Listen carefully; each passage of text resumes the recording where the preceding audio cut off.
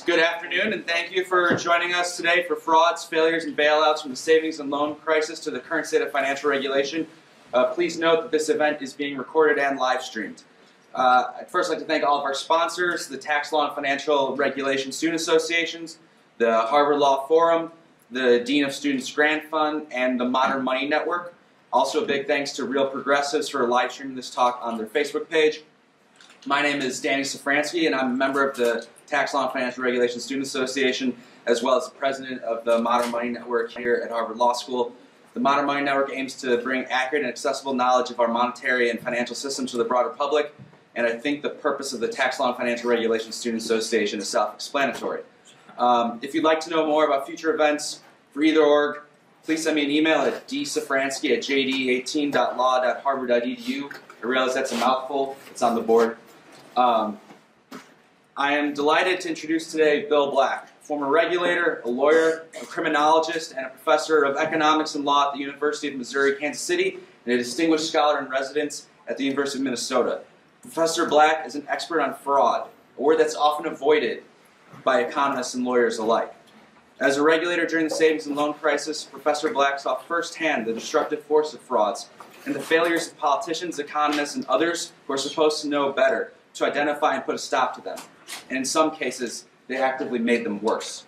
He's the author of The Best Way to Rob a Bank is to Own One and developed the concept of control fraud, which I'm sure he will be discussing today. Since the savings and loan crisis, he has advised politicians and leaders around the world on how to deal with fraud, corruption, and financial crises. Please join me in welcoming Professor Bill Black.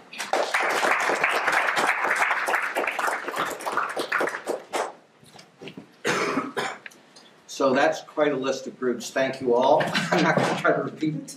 Uh, and thank whoever arranged the weather, because uh, when you come from Minnesota, it just feels like home today in Boston or Cambridge. Okay, so there's not that much time, so we'll get right to it. As I said, it's a deliberately provocative thesis that says the crisis that we're celebrating a 10 year anniversary of this year uh, actually goes back a lot farther than people think. And I bring to you, you heard a bunch of hats, in, in addition, serial whistleblower and former banker uh, and such, and two institutions, which we'll see in the slides, some of which are UMKC slides, and some of which are Minnesota slides and such. I never give the same presentation twice. So this is the thesis of all of this, that the uh, same twin fraud schemes that drove the savings and loan uh, debacle actually continued. They simply moved to a sanctuary area called nowadays the shadow financial regulatory sector, although that name didn't exist at the time. And they grew massively over the course of, depending on how you count it, 12 to 13 years, hyperinflating the bubble and leading to the 2008 financial crisis and the Great Recession. So, what were those twin epidemics? One was appraisal fraud. Lenders and their agents suborned and extorted appraisers to inflate values. Okay? Now, that is something that no honest lender would do, and it's something that works really well when you're prosecuting. So, you know, I trained the FBI agents and the AUSAs who did the prosecutions in the savings and loan era and as a federal employee, I'm free as an expert witness, right? So I did a fair bit of that uh, as well.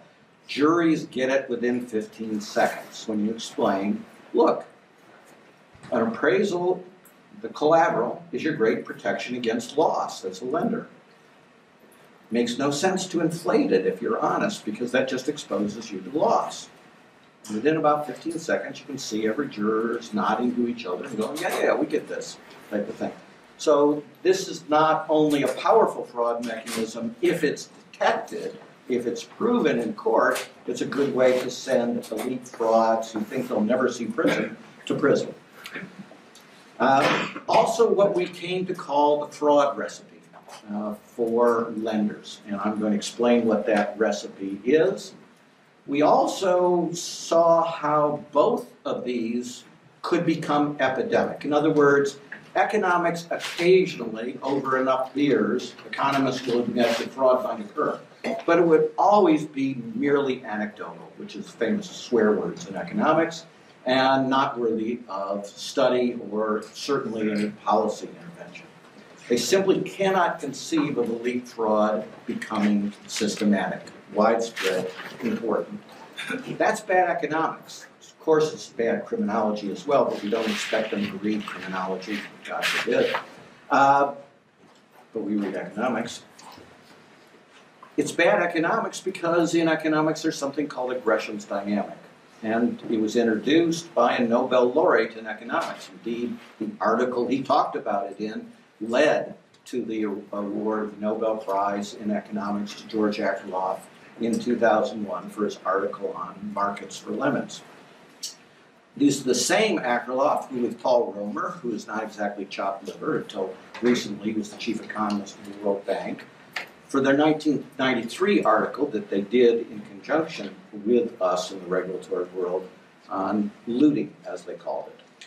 So we identified these two epidemics, and we identified them early, back in 1984, both by listening to our examiners, those are the people that actually go into the banks and look at the records, so the people who know the facts the best. They're not the fancy people in the organization, they're just the ones who are best suited to actually giving you the critical information. And because we autopsy every failure and look for patterns. So this is that passage from George Akerlof. Dishonest dealing tend to drive honest dealings out of the market.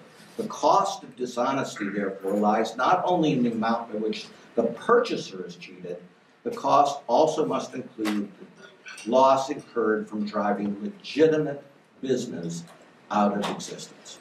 Right? And this is, of course, how we market this when we're talking to business communities, right? You want to be an honest business person? You need someone like me stopping your competitors from cheating and gaining a competitive advantage. Because if you gain a competitive advantage by cheating, the market forces become perverse.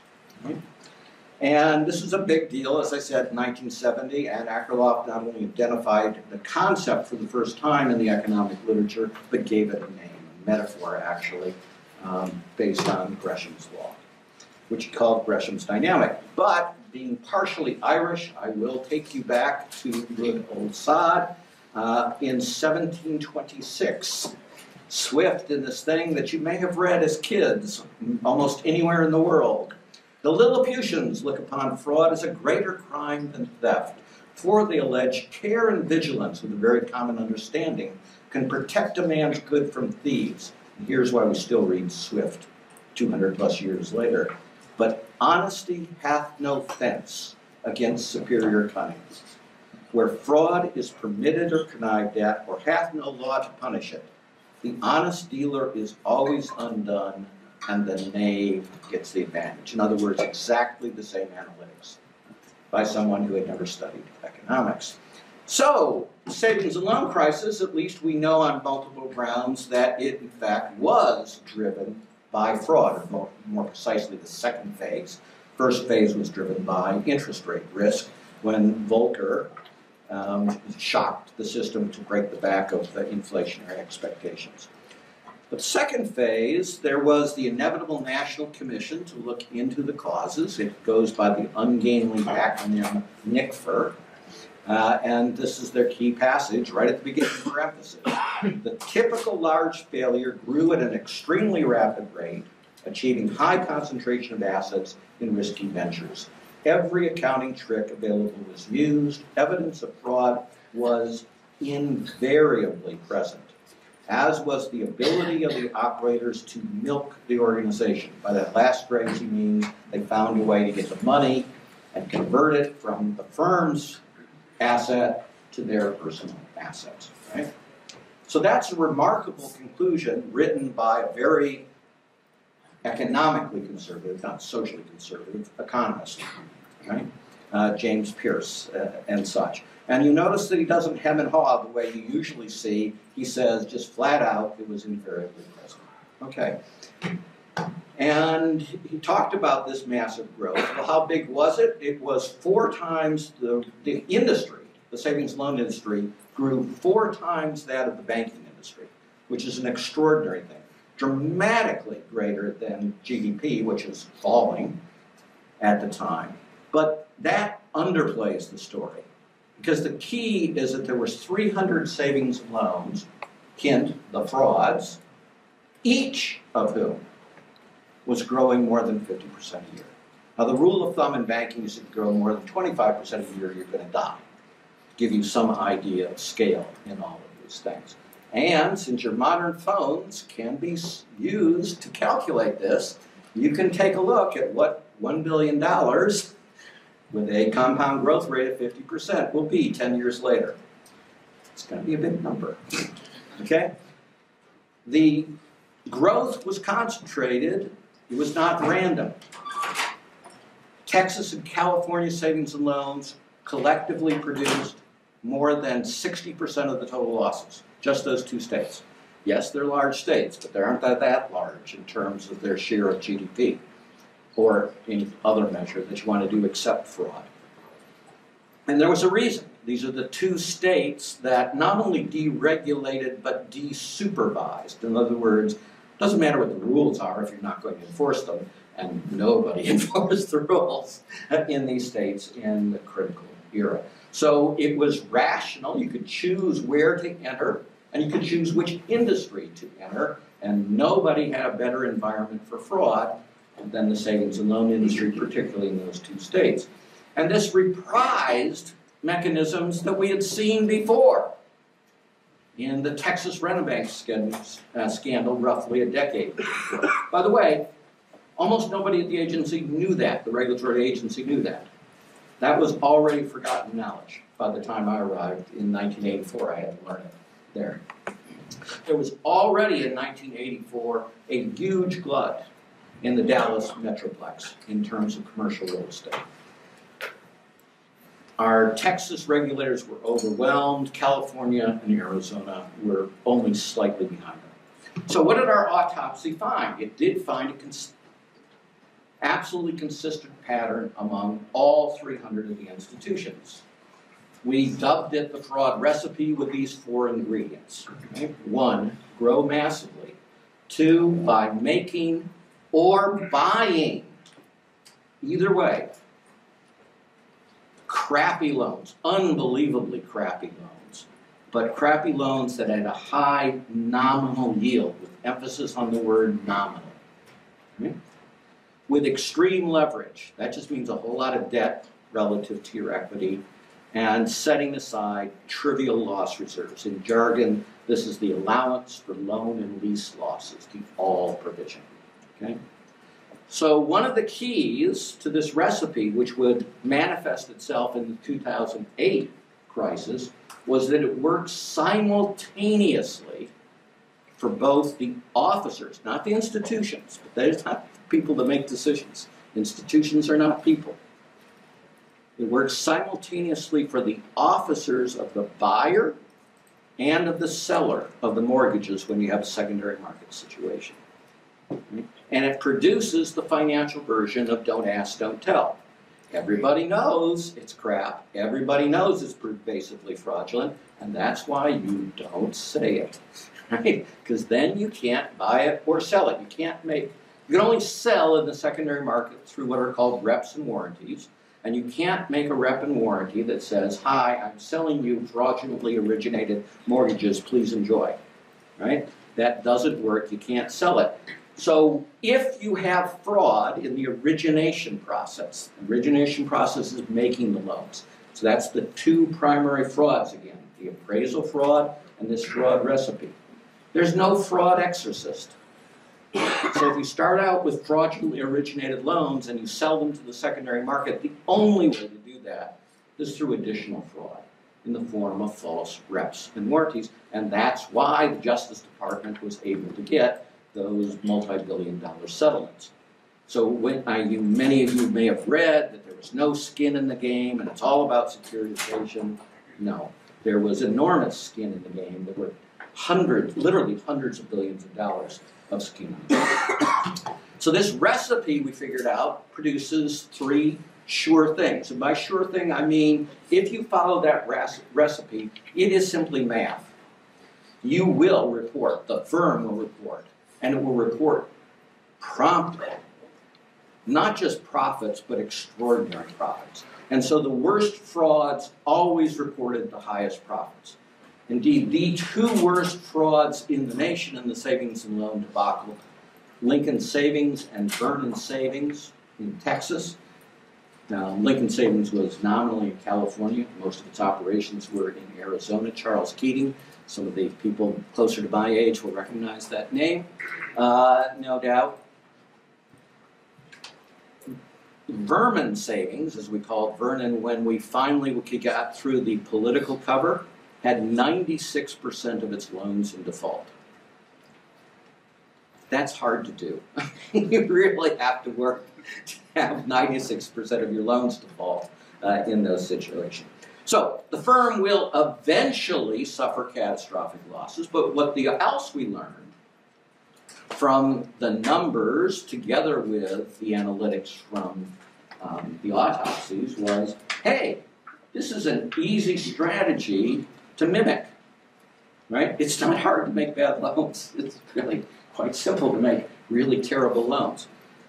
And what happens if 300 institutions do this? What happens if those 300 institutions cluster, largely in Texas and California? Well, then very quickly they will be extraordinarily large, extraordinarily large relative to the local markets. And property markets are relatively local. Right? And they will and did hyperinflate bubbles, particularly in commercial real estate in Texas. So we also figured out that the great tell, in the sense of poker, you know, the dog that wags its tail when it has a good hand, is the tell of poker, right? That the great tell was underwriting. Because if you think through the recipe again, the first ingredient is that you grow enormously by making incredibly crappy loans.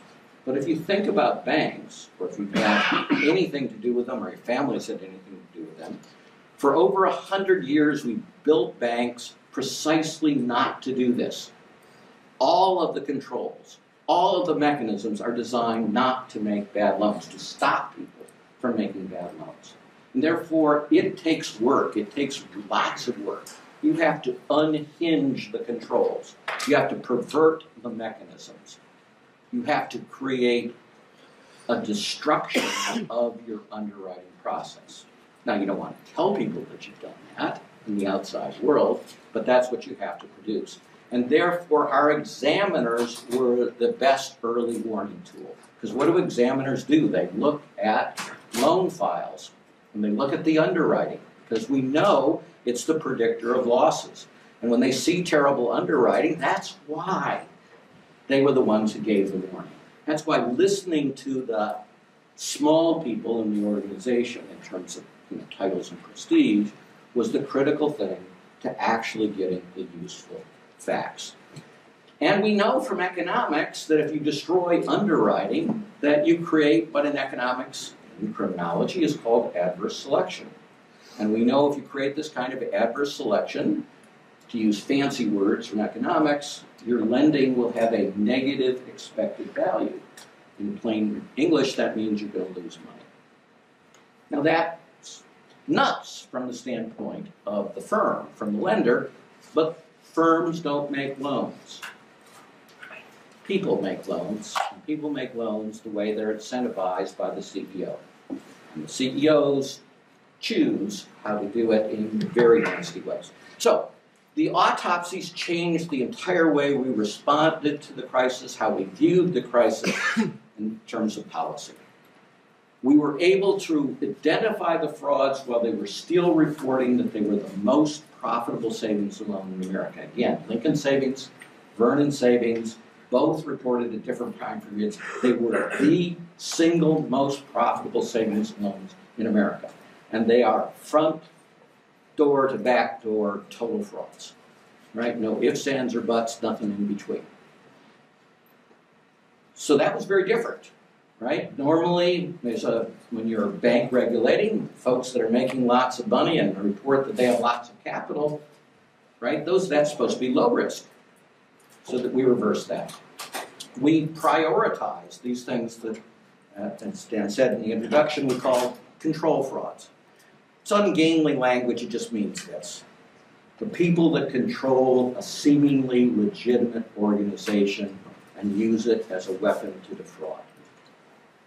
That typically means the CEO, but for example, Charles Keating never was an officer or a board member of Lincoln Savings.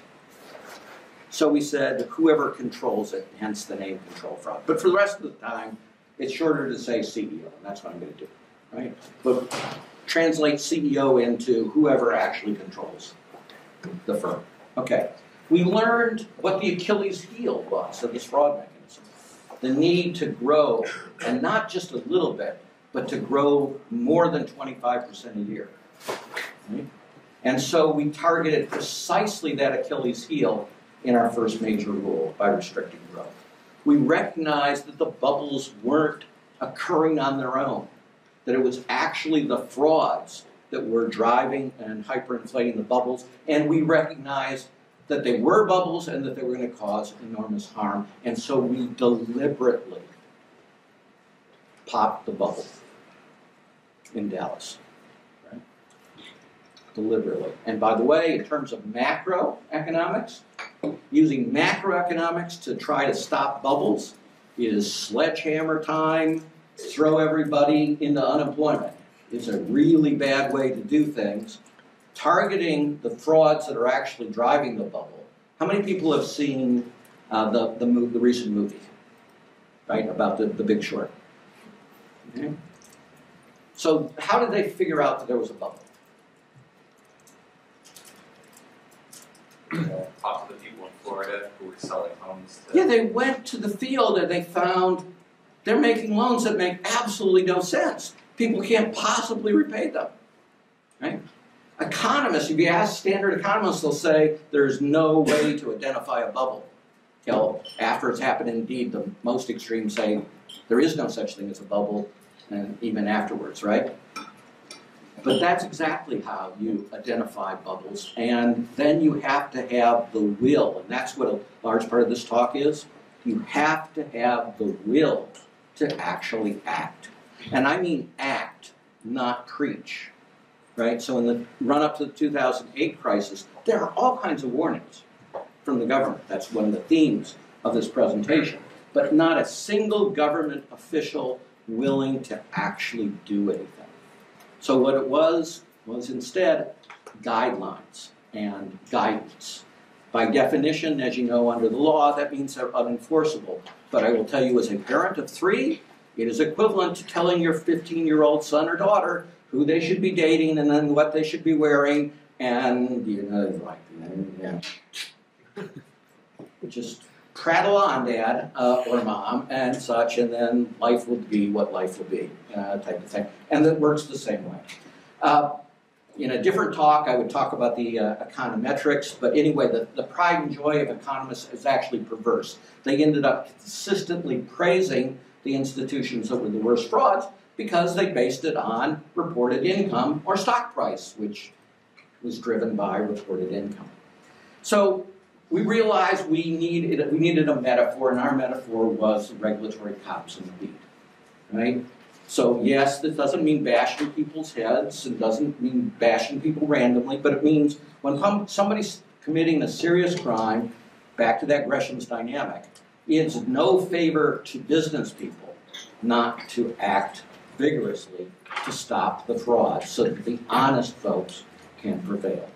And we acted strongly. We acted proactively, first to strike down that bubble, but then something that's going to be a theme of this talk liar's loans arise for the first time, as with all good financial frauds in America, in Orange County, California.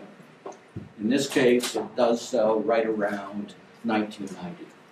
And we're kind of busy with this overall savings and loan crisis and this big fraud mechanisms that I was talking about and the 300 institutions or remainder that were still operating, growing at these massive rates. But we broke out a group because we listened to our examiners.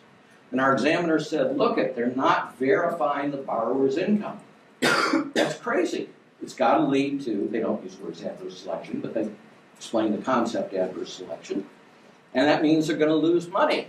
And that means this only makes sense if this is a variation of the same fraud schemes we've been looking at, just a different kind of ammunition, right? The liar's loan. Wasn't called that then. It was a euphemism called low documentation back in that era. But the industry is the group that developed the phrase behind closed doors of calling them liar's loans. And eventually they stopped doing it just behind closed doors. They would actually go to conferences and call them uh, liar's loans. So we saw our mission is basically uh, beating that uh, Gresham's dynamic. And we looked at why CEOs were so different.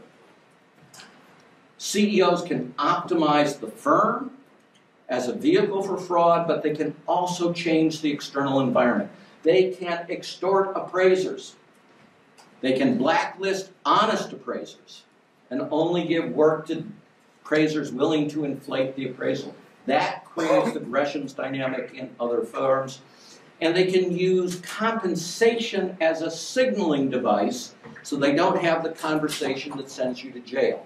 Conversation that sends you to jail easily, even with inept prosecutors, is Hi, I will do the following illegal thing, and in return, you will give me the following amount of money, right? We can all send you to jail if we get that. But I can send that same message if I am even slightly clever as a CEO with the compensation system. And that's what the smart ones do, and that's why it can be much, much harder to prosecute them. But one of the biggest single things is we just don't think of CEOs they're, as potential crooks. They wear nice suits, they're highly educated, they speak well, they give to charities, they went to the right schools, etc., etc., etc. Well, okay, after the savings and loan debacle, we had another massive amount of fraud, the Enron era frauds. And both for reasons of uh, shameless plugging and because it's actually, I think, important substantively, I'm going to give you the lesson of Vincent Kaminski. Vincent Kaminski was the chief risk officer. That wasn't his title, but that's what he was at Enron. So he's lead, one of the leading quants, quantitative experts in the world. And he was not a crook. In fact, he's in the books in Enron because Fastow, who was a crook as CFO, comes in, wants him to do something, talks to Kaminski in front of the staff. Fastow, the CFO, leaves. The entire staff breaks into uproarious laughter at how absurd uh, this is, right? So that, that's the kind of thing Kaminski. So a smart guy, knows things are not right, but he doesn't know exactly. He writes an article fairly recently. He says, hey, risk officers, instead of making the mistakes, why don't we learn from the mistakes of other people where they've screwed up, right?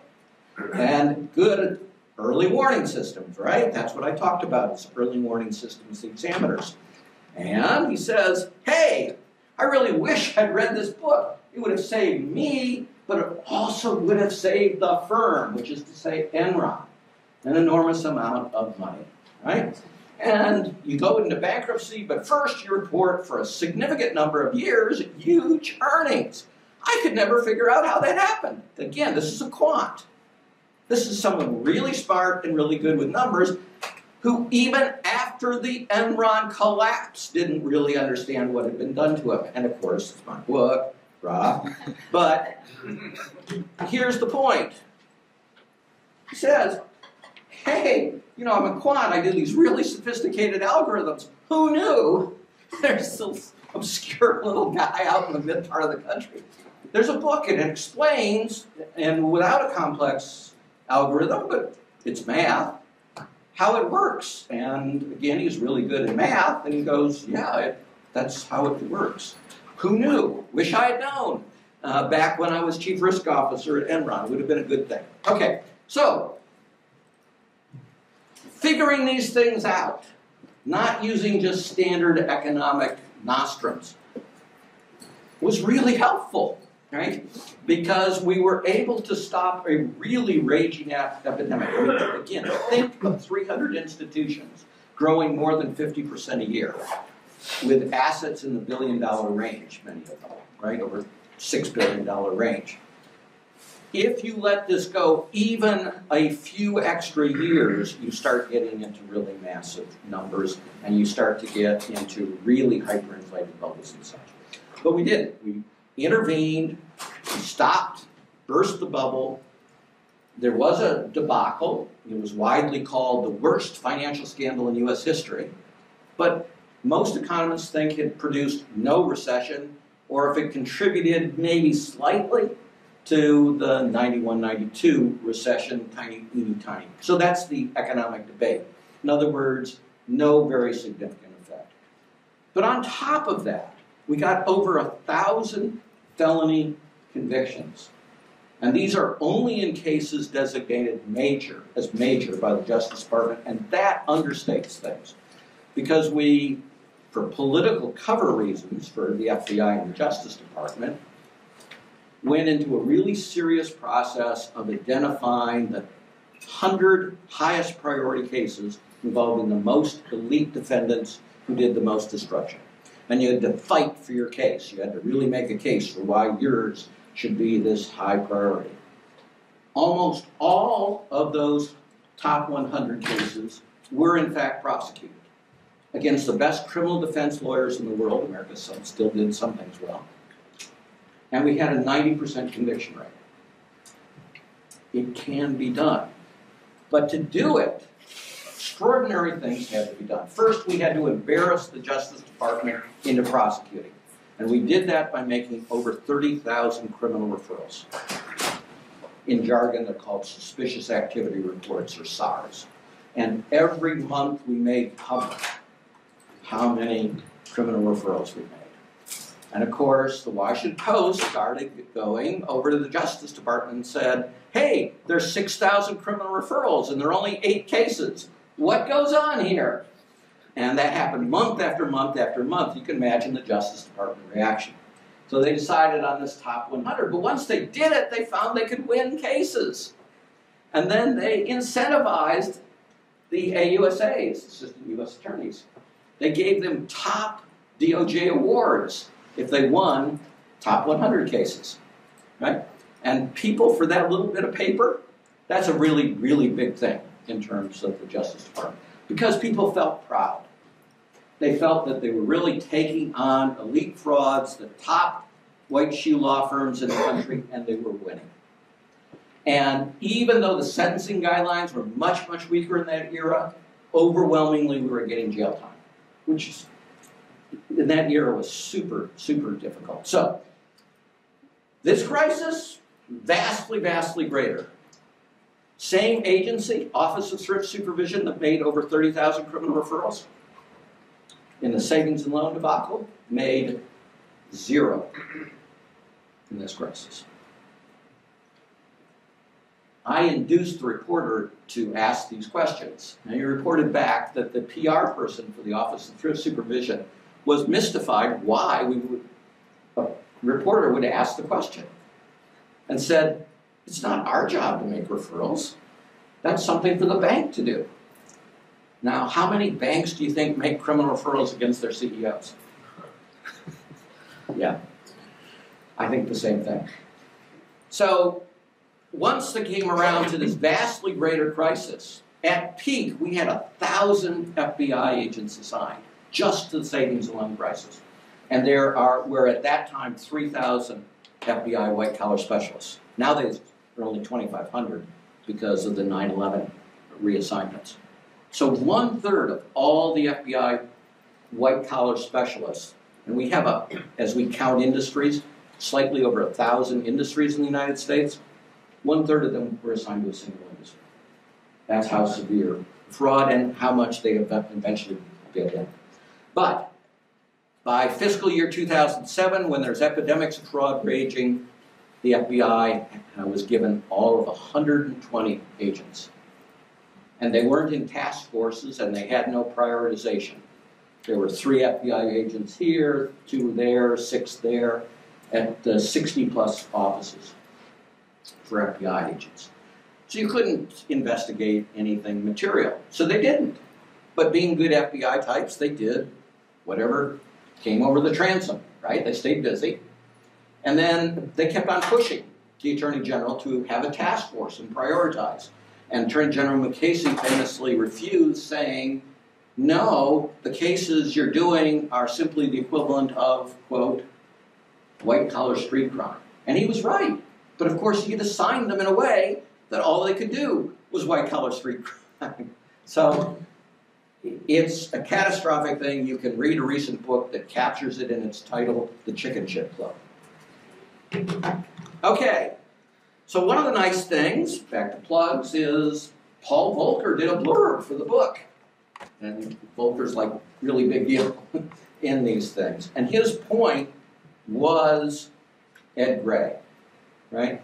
So Ed Gray was the head of the agency, a conservative Republican, a personal friend of President Reagan and Mrs. Reagan, who had never done anything progressive in his life. Right? None. Zero. He's somebody that smoked a lot and knew it was going to destroy his career, predicted it was going to destroy his career. It did destroy his career. So if you've ever read The Right Stuff, he didn't have the right stuff, but he kept coming to work every day and kept on doing it. Even though it knew it was going to destroy him, that's why Volcker wrote the blurb, to make this point. And that it was a lesson equally applicable now. Okay, I told you that uh, we went after the top reporting profits in the nation, right? Savings and loans reported the were most profitable. So, you know how law firms work, right? They're always pitching for business. You look for an excuse to write a newsletter to your clients, prospective clients, even more, that says, oh, here's the following development, and this you should look for, and you should think of us because we have this great intelligence and analytics, right? So, a law firm did that, and it was accurate in explaining who we were going after in terms of our prioritization, and including the institutions reporting the, the highest profits, and Lincoln Savings was reporting the highest profits. So you can imagine why Charles Keating, who effectively managed Lincoln Savings, was a little upset. And being Charles Keating, a lawyer, mind you, he put it in writing. The enclosed memorandum from the law firm of the chairman of the Federal Home Loan Bank is confirmation of a horrible episode in the American government. Namely, the Federal Home Loan Bank Board under Edwin Gray is Nazi and diametrically opposed to everything your administration stands for. He was writing to the President Chief of Staff, uh, President Reagan Chief of Staff. It goes on. The Federal Home Loan Bank Board is a prime factor in the current economic stagnation, which will lose the U.S. Senate to the Democrats in November. Can you read the enclosed memorandum and not be horrified at the police state Edwin Gray has created, like Jupiter eating his children? That was us. um, so he, he thought, you know, we were there to protect him. Um, that was, uh, we had a very different view of that. And what happened in the current crisis? Well, this is the inevitable National Commission to study the current crisis. Senior supervisors told the Financial Crisis Inquiry Commission it was difficult to express their concerns forcefully when financial institutions were generating record level profits. Hint, they weren't. the Fed's Roger Cole. A lot of that pushback was given credence. Citigroup was earning, no it wasn't, four to five billion a quarter. And that is really hard for a supervisor to successfully challenge. Uh, just tell about Okay, so there's not a whole lot, folks, left. You heard um, or read Volcker's praise for the head of the agency, but the head of the agency is the guy that personally recruited the top supervisors for California and Texas. Why? Because that's where the big problems were. So he asked 30 or 40 folks who are the best supervisors in America. And he put them in charge. And they were the bosses of folks, and this guy, Patriarca, was one of them. So, Charles Keating being Charles Keating, and since a huge contribution for a senator is chump change for anybody that's a CEO and can use the firm's money instead of his own to do the contribution, he was able to recruit five senators who became known as the Keating Five to intervene and tell us that they really didn't want us to take an enforcement action against the largest regulatory violation in history, a kind of violation that invariably proves fatal. DeConcini, a former prosecutor and the senator hosting this meeting, saying, so these are He's talking about then when we're big eight uh, accounting firms. Why would Arthur Young say these things? They have to guard their credibility too. They put the firm's neck out with this letter, this letter condemning us and saying the Lincoln savings was a poor put upon group. Patriarca, they have a client, and the specific thing I won't go through. Uh, DeConcini, you believe they prostitute themselves for a client? Okay, setting five U.S. senators, 120th of the Senate led to the Keating 5 ethics investigation on the basis of my notes of the meeting. So there were five senators, all the outside law firms for them, including that Dowd guy that just uh, resigned, right? And the Senate historian and the House historian, all looking for some historical precedent. When five U.S. senators had privately called in the top regulator to put him on the carpet, right? They could not find that this had ever happened in U.S. history. Okay, so that's the context. And we've just been defeated in the House, and our only chance is in the Senate for the absolute critical bill needed to cut, shut down the frauds. And one of the Keating Five is the ranking minority, and the other is about to become the chairman of Senate Banking which is to say, they got a lot of leverage, right? And this is phrased by a prosecutor such that a bureaucrat has only one possible answer. You believe they prostitute themselves, one of the top accounting firms in the world? you should have seen DeConcini. He wasn't, of course, shocked that the firm had prostituted itself. He was shocked that a regulator in these circumstances would tell them that. So that's the question. You think there are any banking regulators in the top last 12 years that would pass the Patriarca test if they'd been put in that setting? I don't think so. Okay, here was the correlation of forces that they say in the military biz. We did have an ally for a year at the end of his term, Paul Volcker, but we had a pretty impressive list against us.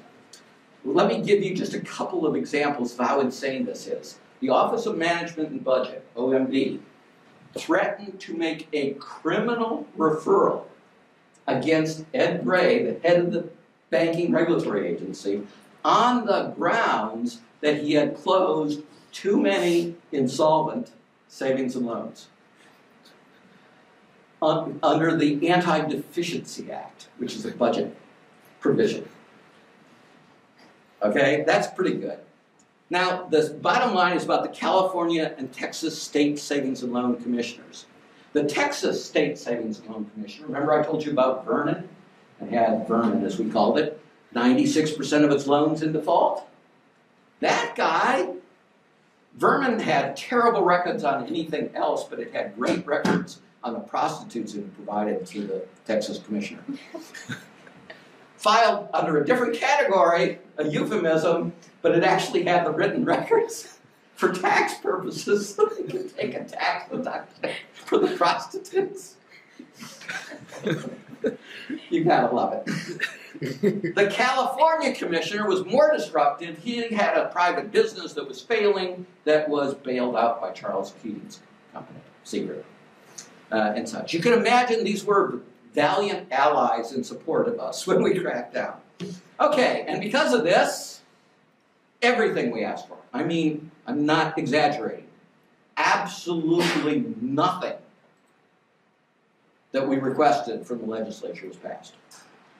The one bill that emerged, they perverted into something designed to impair, and I don't mean kind of designed or inference, the lawyers for the fraudulent firms drafted the language, right? And there were all these congressional interventions. Um, you know, Keating's famous, uh, he sued me for $400 million in a Bivens action, hired private detectives twice, and put in writing, highest priority, get black, kill him dead. He's a lawyer, remember. And then withheld it as attorney-client privilege. I think there's a fraud crime exception, but you know, I um, don't want to go there. Anyway, this we got lots of support about this, including these guys, Akerlof and Romer, that I referred to, who said neither the public nor economists foresaw that savings and loan deregulation was bound to produce looting, nor unaware of the concept could they have known how serious it would be. Thus, the regulators in the field, the examiners, in other words, who understood what was happening from the beginning, found lukewarm support at best for their cause. Remember, this is 1993. Now we know better. If we learn, we don't have to repeat this kind of disaster. And here is the talk, actually. So I told you that Liar's Loans, not called that yet, began around 1990 in Orange County, California. And that are kind of busy with the overall crisis, but the examiners say, you got to deal with this.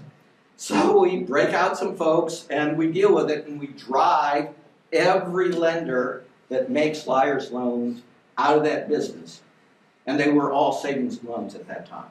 Right? So they were subject to our regulation, and because they were in Orange County and we were the regional regulator at that point, we could go after them. And that's why in 1994, Long Beach Federal Savings Bank gave up its federal charter and gave up federal deposit insurance, converted to be a mortgage bank for the sole purpose of escaping our jurisdiction. So it could continue to make these kinds of liar's loans. And it sought sanctuary in what is now called the shadow financial sector, where nobody could regulate them. And then it proceeded to grow 50% annually for the next roughly 10 years. Such that by 2005, it was the largest subprime lender in the world, with over $75 billion. Right? So it was more like $70 million when it started. And it was up to 75 billion, and it was absolutely the biggest. And it became the model. Right? And, and you can see why they wanted to get rid of us in, in all of that. I would also note, in addition to the frauds, it was a predatory lender, and it targeted women and it targeted people of color. And I want to tell you one of the most striking things that came out of the crisis, and this is from a very conservative economic source, Federal Reserve Bank of St. Louis economists. Median wealth declined by about 72% among Hispanic college grad families versus a decline of only, that should be in air quotes, 41% among Hispanic families without a college degree. Among blacks, the declines were 60% versus 37%. Now, the pattern is exactly the opposite for whites and Asian Americans. If you have a college degree, you suffered a lower loss relative to um, your ethnic group that uh, the household that lacked a college degree. In other words, these are folks who try to do exactly what you're taught to do in the American dream and such. Save, go to college, get a degree, buy a house, right? And they're the ones who actually got, you know, absolutely got destroyed.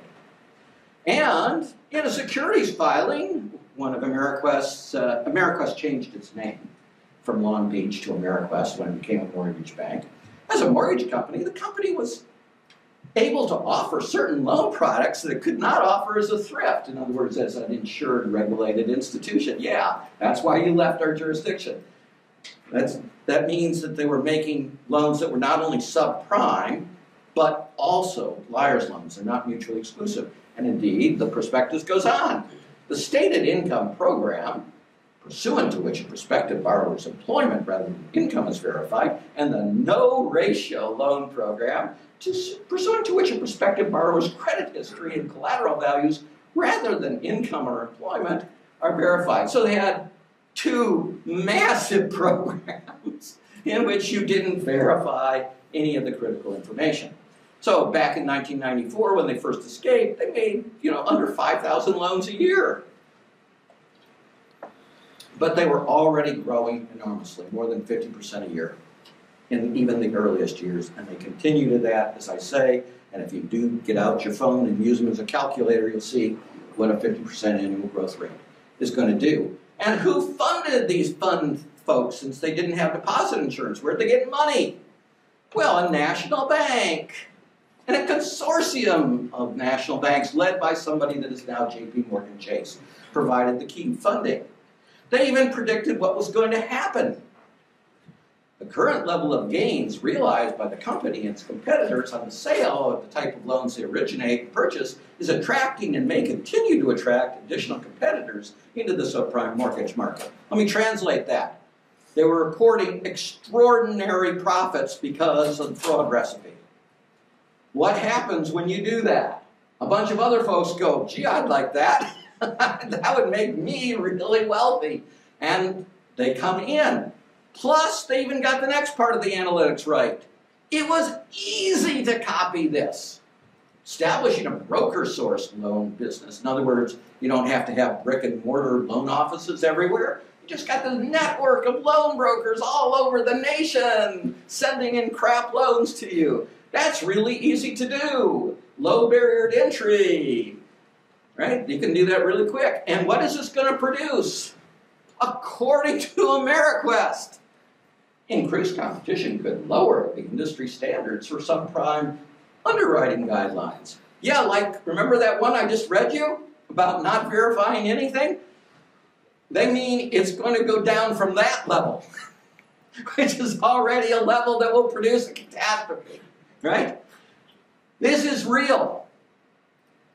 This is another one of those competitors that came in and did the same thing. This is their actual ad. What do we use the three monkeys for? What's the next phrase? To see no evil. Isn't that an interesting choice of marketing? Right? Hear no income, speak no assets, see no employment, just come down, we give you money. Because we make a ton of money. All right, and God forbid, Tom Miller, may be obscure, but he's the nation's longest serving state attorney general and did the key stuff in the investigation, said, hey, it produced a race to the bottom. And AmeriQuest was right. You gotta love a prospectus that's well drawn. NCUA, an obscure acronym, National Credit Union Administration. This is the federal regulators for credit unions that did an investigation. Nearly all of the largest mortgage loan originators in the residential um, mortgage-backed security market between 2000 and 2008 systematically disregarded their stated underwriting guidelines. So they also use brokers, remember, because that's easy to get entry. So we go to the guy who used to be the head of the Mortgage Brokers Association. Remember? He's the head. He's not a disaffected head. He's the defender of mortgage brokers. And he says, we're getting a bad rap. Only about 50,000 of us were whores. but, he says, of course, there are some big firms that are what? Absolutely corrupt. AmeriQuest, the biggest and the baddest. Now, another state attorney general. Why state attorney general after state attorney general and not feds? Because the feds didn't investigate, and in fact, they quashed the state investigations by preempting them. And why? To attract, they actually used it in the literature and on their website. Said, we're really aggressive in protecting you against nasty states, you should adopt our charter. So, Madigan, Illinois Attorney General. Our multi-state investigation with AmeriQuest revealed that the company engaged in the kinds of fraudulent practices that other predatory lenders subsequently emulated on a wide scale. What was that first epidemic of fraud? Inflating home appraisals, and also lots of other predatory stuff. Hey, back to Akerlof and Romer. They're writing in 1993, but they're talking about decades of experience. Loan brokers who match brokers and lenders in exchange for a commission have a deservedly bad reputation. The incentive to match bad credits with gullible lenders and to walk away with the initial fees is very high. Well, who knew? So what happened? So they massively used loan brokers even though they knew it was producing massive fraud. And here's the real kicker.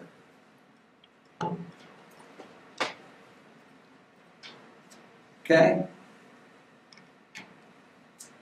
What's wrong with the AUSA? Gail McKenzie, not to pick on her personally, but as a mindset.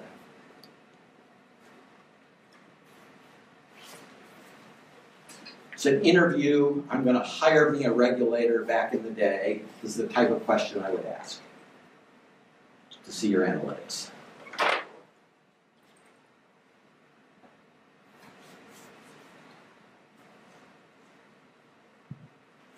He didn't need the job anyway. Get paid more elsewhere. So the problem is nobody makes you hire a loan broker. Why are you investigating the loan brokers? Why aren't you investigating the lenders, the recruiting and creating the networks? Right? There are 25 of the lenders and 300,000 of the loan brokers. Do you think you have the resources to investigate the 300,000? No. Okay, so we're about to wrap up and do questions. Hey, it got better. For years, they didn't even look in Florida. When they did, oops, they had existing criminal records. And back to Tom Miller. Who put the lies in the liar's loans? Economists assumed must have been the borrower. It's overwhelmingly the lenders, say the actual investigators.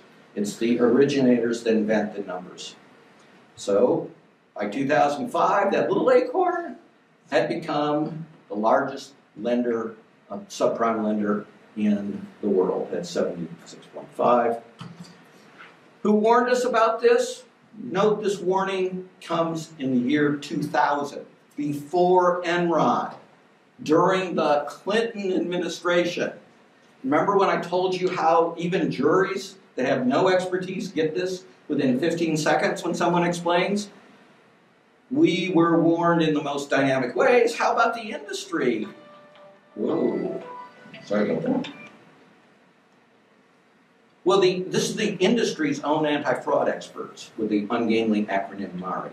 Stated income loans are open invitation to fraudsters. The incidence of fraud is 90%. It deserves the title used in the industry, liar's loans. Hey, remember back in the early 1990s when they first started, remember, and we cracked down? And they cost hundred millions of losses? Industry acts like forgets. And even the Bush administration, even the Clinton administration regulators are warning about this. Uh, nothing happened. So what actually inflated, hyperinflated the bubble? It was these kinds of loans. We could have gone two different ways in 2004. Congress, bless its heart, actually did something right. Passed the Home Ownership Equity Protection Act of 1994, which gave the Fed and only the Fed the authority to stop all liars' loans, even if the lender had no federal deposit insurance. The Fed refused to use that authority. And Clinton began the big first report on reinventing government, where he could have taken the experience of the savings and loan crisis and said, hey, this really works. And instead, they went in exactly the opposite direction. So that was the crossroads moment. Instead, they left it out into the shadow sector. It grew at extraordinary rates. They allowed it to go on for over a decade. By the time, well, they actually never acted. They simply had the crisis. Thank you. Questions? We have time for. So, there's a class here at 1:15. So, just, just we'll only have time for a few questions and quick answers. Yes, sir. Who wants a yes? Who wants a no? So, um, there's a sort of famous story of you testifying as an expert witness and having the jury laughing at the government because it was one of these cases where it, I believe they're the, the, the government has had this problem understanding why businesses would do this, why, why a financial institution would sort of engage in this fraud. Have you found since 2008 that there's been any um, any progress on that front? And also, what is the way to get people to understand this is not about predatory borrowing, this is predatory lending? That's multiple fraud. questions. So, So answer the first one is no, the context was a pro bono um, expert where we used the flying monkeys uh, because they were claiming that this lender was defrauded. We said, what? Type of thing. The judge saw it and he just, you know, uh, was amazed. Um, I tried with the assistant U.S. attorney, I'm sorry, the, uh, yeah, um, the U.S. attorney in Sacramento, who was actually a bigwig in these prosecutions. I wrote him, he never responded. Um, so that is part of what I do is show, no, I mean, the people that actually have investigated say it's not true. And it makes sense that it's not true because you would have to know so much information to be able to do it, and, and that information is proprietary. So the borrower is not in a position uh, typically to be able to do it. Now, that doesn't mean there aren't borrowers who knew damn well what they were doing. That clearly exists as a subset. You say more about the motivation for the federal government to withdraw any regulatory oversight? What's driving, you know, in the S&L crisis, we have this very clear story of corruption. We don't have that in the bubble, financial crisis. Right. So, um, a couple of things, including uh, an ode to uh, Professor Jackson uh, here, uh, who actually tried to do something, um, and as an expert witness uh, against the loan brokers, because in addition to everything else, the loan brokers got paid a kickback if they could induce you to pay above the market rate of interest, right? And under RESPA, that's actually illegal. And so they were bringing a class action with him as the primary expert. Uh, so this is really good um, activism, I, I think, uh, by a prof that could have made a big difference. And the head of HUD adopted a new rule to say you couldn't have class actions in that precise context for the purpose of defeating that action. And that head of HUD is a guy that never was ever heard of again. His name is Andrew Cuomo. Yeah, the Gov of New York. So why? Because laissez-faire is ubiquitous, because the uh, Clinton administration came in with this doctrine of reinventing government where the analysis was the private sector was a brilliant success and the public sector was a disaster, and we had to have as maximum privatization, and the thing we couldn't privatize should be run along private lines where I left the government in 1994 when we were instructed under the reinventing government. Again, I'm in the field, so the folks come from Washington to instruct us, and we were ordered, and I'm, then again, this is a quotation, that we were to refer to the banks as our customers and to treat them as such. And in my own quiet way, I got up and said, I thought that was a really bad idea, and explained why. And they said, well, yeah, no, no, we thought about making the people of America our customer if we had to think in customer terms, but we rejected that. Right? So, and they're very proud that the head of it says, Bob Stone, says that he got appointed by Al Gore, who was the, took the leadership uh, role within the administration, to run reinventing government because he made one substantive point to Gore. They'd never met before this meeting. And the one substantive point he met was, and I quote, don't waste one second worrying about fraud, waste, and abuse. Stop treating the, the corporations as the enemy. Now, we didn't. I think that's, that's why I emphasize Gresham's dynamic. We are the best friend, the critical friend of honest business people. We are the only thing that allows them to persist in the marketplace in these kinds of situations. But that's how the uh, laissez-faire ideology got translated. That if you were prosecuting people, that wasn't good, that was bad, that was a failure, that was nasty. Shouldn't be doing that. And look what had happened, you know. Uh, so you meant, sort of along those lines, you also mentioned uh, uh, federal government has preempted state governments from acting. Is there anything left that you see that's meaningful that state governments can do? Uh, yes, uh, so the, there's been a complicated, too complicated for right now um, where preemption has gone in light of Dodd-Frank, but it's been reduced. and the Supreme Court knocked down the farthest reaches of the interpretation that the Office of the Comptroller of Currency uh, intended as to actual fraud type stuff. So, yes, and the state AGs have discovered that the only way to do it is as a consortium because they don't have remotely the resources and they can't ever really press it home. And the uh, analog I would give, and, and the point back to reinventing government that was utterly ignored in the reinventing government report was the huge success in public health, which was smoking, right? The uh, Surgeon General's report and the efforts by the federal government have literally saved tens of millions of Americans' lives, right? So, yeah, there are areas where we can do very effective things at the federal level and the state level. The, at the federal level, it, how many people know about the RICO action against smoking?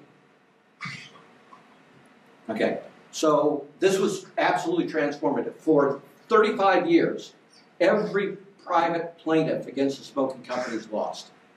Every single one. Then the states got involved and they did better and they got a bit because the key was the unethical representation of the defense bar, which was hiding and destroying documents. Right? There's this is extensive federal findings eventually in the RICO case.